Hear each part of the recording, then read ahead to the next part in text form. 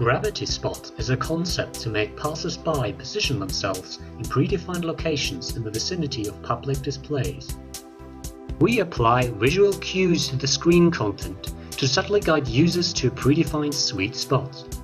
The strength of the cue depends on the distance to the target. It gets weaker as the user approaches the spot. This lets users gravitate towards the desired location.